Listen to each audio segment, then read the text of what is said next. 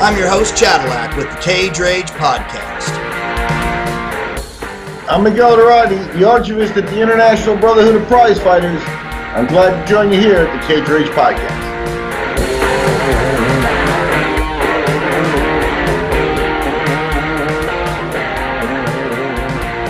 Hey, so tell me about the shirt, Miguel. Um, I, there's probably too many to run down, but at least tell me about the about the main ones on the shirt because your shirt represents champion Jewish boxers throughout history. Can you can you give me a little rundown on each one of them, or at least the ones that matter the most to you? Yep. I mean, first, uh, Can, can you, You know, set back so the set back so the audience can see it? Kind of hold your shirt up. I will. Do it now. Tranquility. Tranquility. Don't make me. It's better. Look at him pumping his chest up. So here's the deal. The bottom line is, is first, uh, in answer to your rant and rave about Mr. Trump and, and the whole shenanigans there, like, uh, you know, maybe Trump needed it. Certainly the dude in Pittsburgh who went into a synagogue and needed it. Um, you know, maybe they needed a little young Joe Choynski in their life who kicked their butt at, at the age of 12 and they would have learned some goddamn respect and we wouldn't have had to deal with some of what we're having to deal with. I think a lot of it, um, what's disrespect is when you don't know people, when, when you, you don't even know what you hate, you know? So, um, yeah, maybe a Jewish kid would have beat them up as a young, youngster and that causes him to go in there. So I don't know, I'm not a psychologist, but I do think an ass whooping uh, early on might have straightened some things out. You know, sometimes it's like, oh, my father, you know, sometimes people would say, oh, my father used to hit me as a kid. It's like, you know, if I'm fucked up, it's because my father didn't hit me enough. So I'm I'm good with that, you know. So we'll leave we'll leave the Trump stuff at that. Maybe I wish I wish somebody had kicked their ass when they were a kid. Maybe they would learned some respect, you know. Um, in terms of the boxes on the shirt, we got Barney Ross. Uh, you know, one of the all-time greats. Obviously, his feud, you know, with uh, Canzoneri and uh, Jimmy McLarnin, uh, really highlighted uh, boxing in the 30s. Uh, Lew Tendler, right there with the group. Uh, Benny Leonard, a lightweight champion from uh, the um, uh, from the Jack uh, Dempsey era in the 20s. Um, an interesting character. Also, all of them. The, the fact is, is every single one of them is an interesting character. You know, battling, battling Levinsky also from the 30s, and then Slapsy Maxie, Maxie Rosenbloom, who went on to, you know, kind of become famous in Hollywood in the 50s and stuff like that. Afterwards, after his boxing career, he's a guy with uh, over 300 fights and something like 15 knockouts or something like that. The guy known as Slapsy Maxie, just like to come in and, uh, you know, get his points, and not even hurt you. But God, it's almost like an annoying or. Or could you imagine being beat by a guy who didn't hurt you just because he just scored on you constantly? Kind of like So, um, Chris Byrd. The the heavyweight. Yeah. Chris Byrd wasn't exactly a knockout artist. He just come out there and kind of paw you and slap you, and you couldn't hit him. And you know, he just he, he was a, but- he was a but I- beautiful I fighter. No, I love Chris Byrd, but I, I don't. Uh, you Not know, not a fair comparison. No, no, no. Chris- Slapsy Maxie took it to a whole new level. you, you got to look him up. So You you're talking about literally slapping. Yeah. And, and I mean, Slap. wait a minute. Go, wait a minute. Say it for me again. Is it Slapsy Maxie? Yep, that's his nickname. I didn't make that up. He's gonna he's gonna bitch slap you. Kapow! Yep. But but that's the thing is, is to a certain point they were all and they were all boxing under the Jewish flag. You know, they were Jewish boxers, Yeah. proud of their heritage and stuff. And now it's almost like, you know, there are a couple of Jewish boxers that are out there, that, you know, nowadays and things like that. Um, uh, Yuri Foreman is, is one that you know recently uh, Yeah. fought you know in the last year or so, and, and, and definitely carries the Star David with him and stuff like that. But I think they're few and far between. I think that's almost a little bit of a shame. Maybe you know maybe there's not a lot of Jews boxing anymore, but you know maybe that's for other reasons. You know, it's like maybe it's if they don't want to show themselves, or you know, it's not. You know, is it safe to be a Jew in public anymore? You know what I mean? But back in those days, they, they I think it was always, you know, they always had a stereotype and stuff like that. But at some point, they'd overcome certain things. You know what I mean? and they could be characters, and they could be Jewish characters, and you could think about, you know, oh, you know, it's going to be hard to negotiate with them, and whatever stereotypes, and you could almost, you know, at what point is, are you crossing a line? Telling those things, you know, before you're actually machine gunning people, you know what I mean? It's Yeah. like we can talk about those things. I don't, I, mean, I don't think anything we said is offensive there it's an acknowledgement that they were Jews. You know, I think that they that's nothing more that they wanted to be remembered as Jews. Well, look, uh, as as far as our audience is concerned, or as far as anyone's concerned, if we offend somebody, you know, tell us about it. We we want to hear about it. Talk to us about it, and let us know. Subscribe below. Put your comments down and tell us what you think about what we're talking about here. We don't want this to be a two-way conversation, although we seem to be having a lot of people that are really enjoying it, and we're getting more and more um, listeners all the time, and our audience is, is definitely growing very, very quickly, much much more quickly than we thought it would. Um, we're still not getting a lot of the comments that we'd like to hear, and so I think this is the perfect application for for our audience to join into this commentary and tell us where you're at with this, because I know I, I know there's a thousand white guys that just heard me say, you know, white privilege this and white privilege that, that are saying that fucking son of a bitch, he needs to be shot himself and blah blah blah, and you know I'm gonna get a mail bomb. And and uh, you know there there's there's a there's a thousand people that are thinking this or thinking that.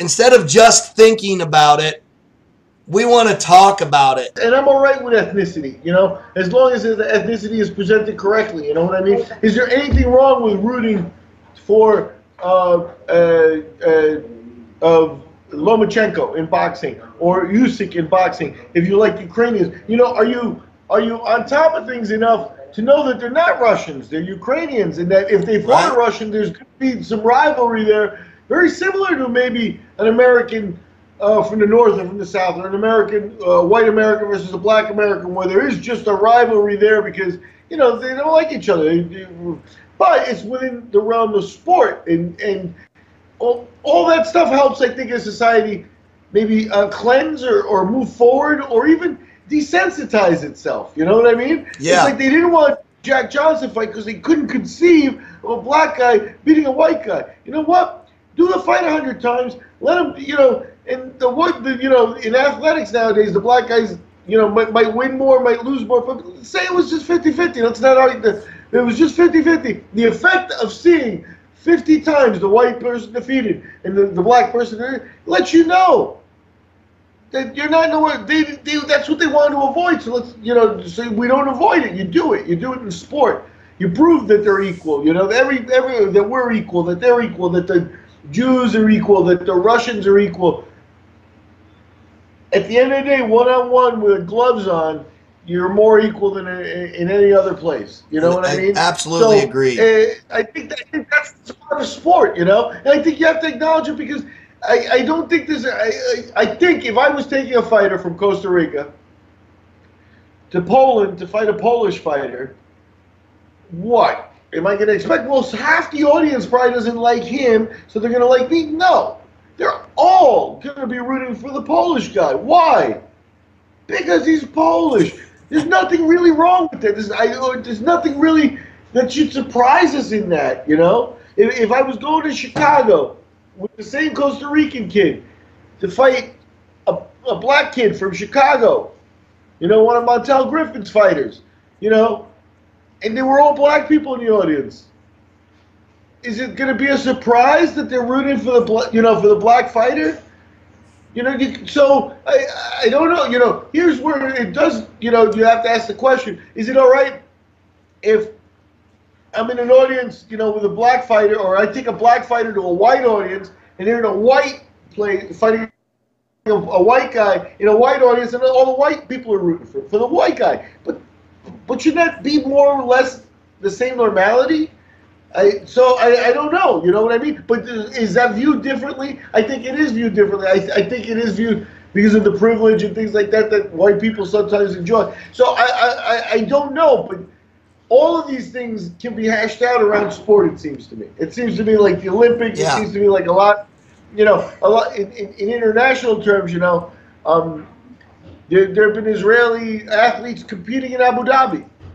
You know, that's a far different world than the 40s and 50s. You know what I mean? Yes. That's only in this century. You, you know, I think that, that they've been able to achieve something that uh, unique. You know, so I, I that's all I can do is I can turn the sport I can, and, and the sport that we love, the the MMA, the boxing, the the one-on-one combat sports.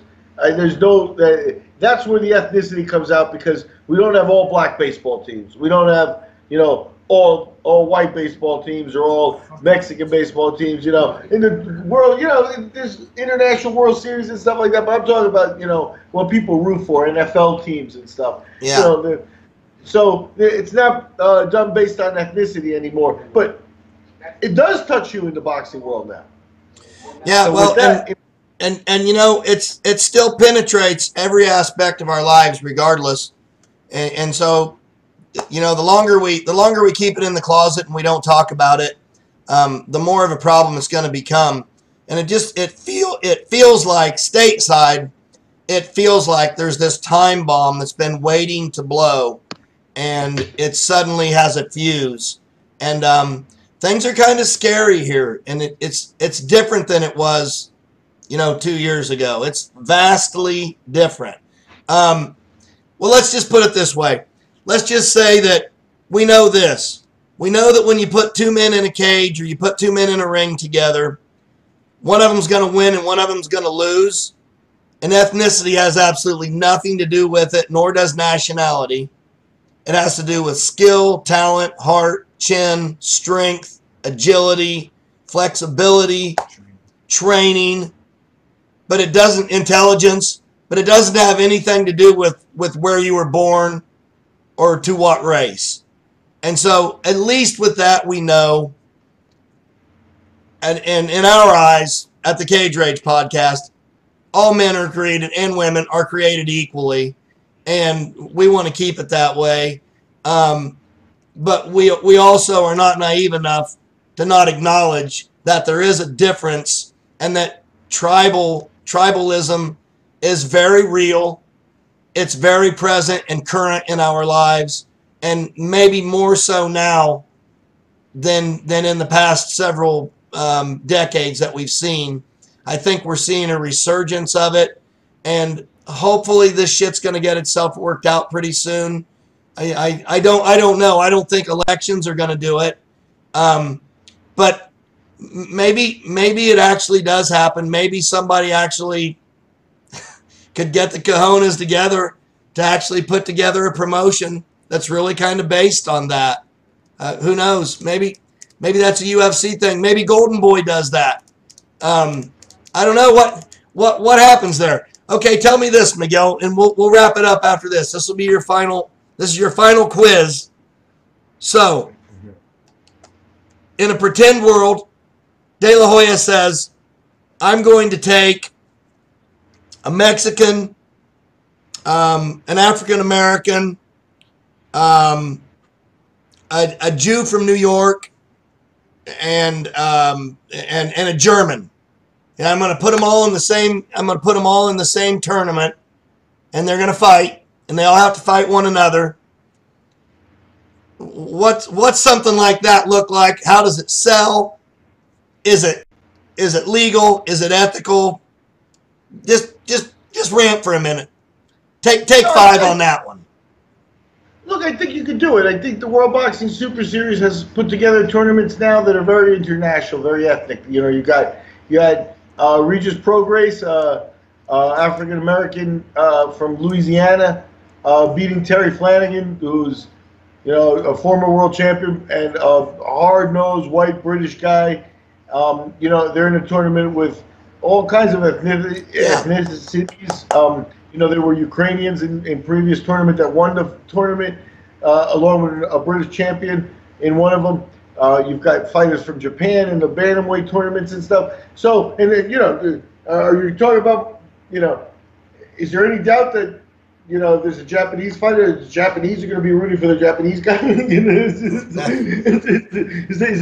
I mean, they may, they, they may have fans of boxing who'd say, sure, I love Canelo, you know? And even if Canelo fought, uh, Murata or someone like that, they might even root for Canelo in that situation. But in a straight, hey, I turn on the TV, who are they going to be rooting for? You know what I mean? It, but I think that's normal. I think we, and I think that the trying to erase that or trying to make pretend that, that doesn't happen is part of why you get into some trouble. I think you do have to embrace some of why we're different too. You know what I mean? Um, I think that's part of the beautiful of it. So, but but but let's yes. end the podcast with this. I, we were talking about the book, and if uh, you've got too much energy on your hands and you want to collect guns or something like that, why don't you start collecting old newspapers and old books and stuff and like that on boxing and do something useful for the sport that we love? And the bottom line is is you know, newspapers and old accounts and stuff like that, they're boxers like Joe Choynski and things that unless somebody picks them, and says, I'm going to do a book on these guys, we're running the risk of having a lot of information just gets, you know, sitting in archives that nobody remembers, you know? There's stuff, oh, the, the Vatican stuff. If you don't read it, there's stuff that's forgotten there. It's forgotten. That's what's going to happen with these boxers if you're not careful. So if you're, you know, if you're an African American that listens to us, you know, maybe you want to go back and say, you know, that young Peter, you mentioned Peter Jackson, and find out more about him. Hey, well, you know, another incredible character, guy traveled around the world extra, extra, you know, et cetera, et cetera. Maybe he's doing a, a, a, refreshed account of himself. You know, maybe the books yes. aren't there, they're not there. You know, um, if you're an Italian, find yourself an Italian. If you're a Jew, find yourself a Jew. Write a book, or at least do some research and do something constructive. You know, with with knowledge and and and, and with you know, maybe if you're a black guy, find a Jewish boxer. Maybe if you're a Jew, find a black boxer and do it that yeah. way. But get, you know, stop being fucking ignorant. You know.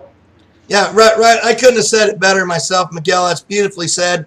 Um, you know, let, let's the power of the pen rather than the power of the machine gun. Uh, you know, there's something to be said for, for the written language got us where we're at for a reason. So, um, hey, I think we had a good podcast today, and I think the most important thing that people could probably take away from this is this. Send us information Send us questions, comment, subscribe. Ask us anything you want to know, and if we don't know it, we'll find out.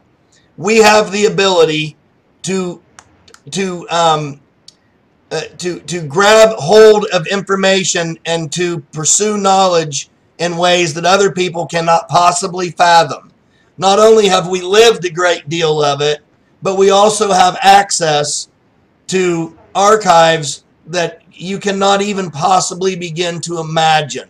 So ask us. Tell us. Write me. Say Chadillac at thecageragepodcast.com. I want to know about A, B, C, and D boxers or MMA fighters. And I want to know this story. Is this true? Is that true? Ask me. I probably won't know. Miguel probably will. And I'll ask Miguel to find out and then I'll ask him so it looks like I'm actually smart. He's doing all the heavy lifting. All I've got to do is, you know, host the show. That's why I do it, because I'm not very bright. Miguel, as always, man, it's been a great podcast. Can't wait to do it again. Um, do you have anything else you want to wrap up with?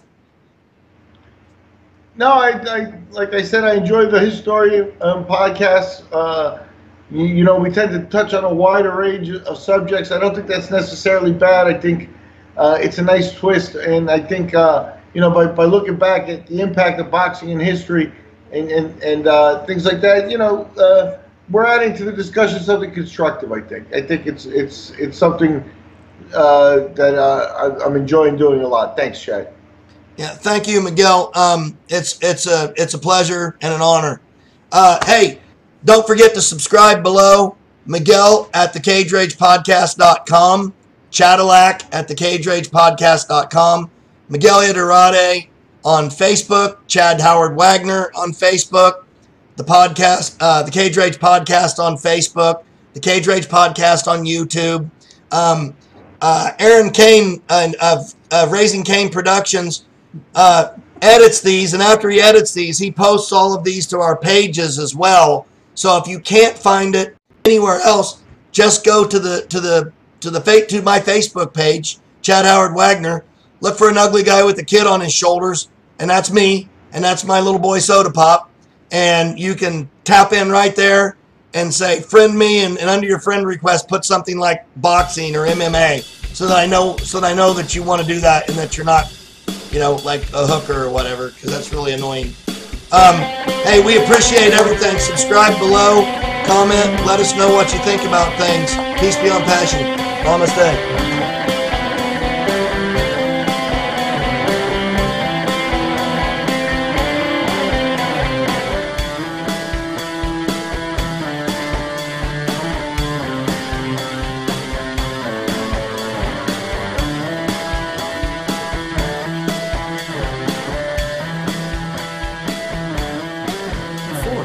Call costs more than the car. Yes, and it cost more than the condom I should have used the night you were conceived.